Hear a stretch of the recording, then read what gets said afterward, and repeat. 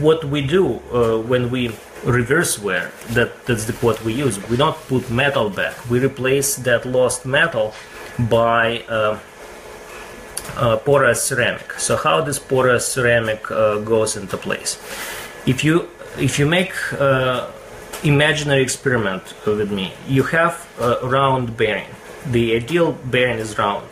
When the bearing wears out, it wears out in preferential directions, usually in direction uh, of the highest load. And in that, that bearing become uh, elliptic. And that bearing is still lubricated by oil and it wobbles in this preferential direction. It's about same the same shape as U in the narrowest direction, but it is much larger in the uh, uh, elliptic direction. So, and your shafts are wobbling in the same direction. That's create noise. So the oil circulate, it circulate more in these areas where there is more wear. But also, uh, in the area where there is no load, there is very little force to apply the coating.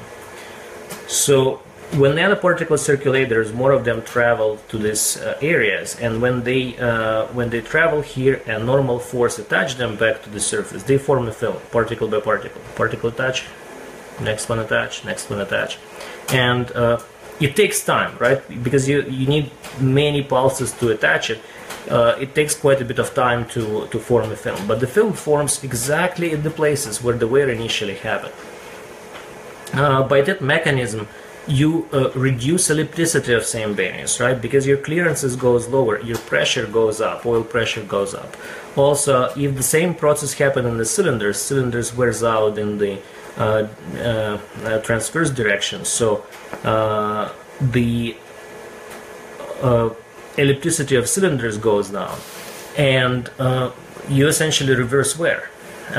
it's not uh, reversing wear, it's not violating second law of thermodynamics. It is uh, uh, using this self-organization of nanoparticles in the way that it's uh, that external force of the uh, friction and wear used to build that film back. And um, uh, we understand that if, if somebody uh, just read it, you know, reverse wear, it's, these guys are crazy, it never happens, right? Or reverse aging, right? Uh, or, um, or any other claims, but more in-depth understanding of mechanism is required to to tell us that we do reverse wear.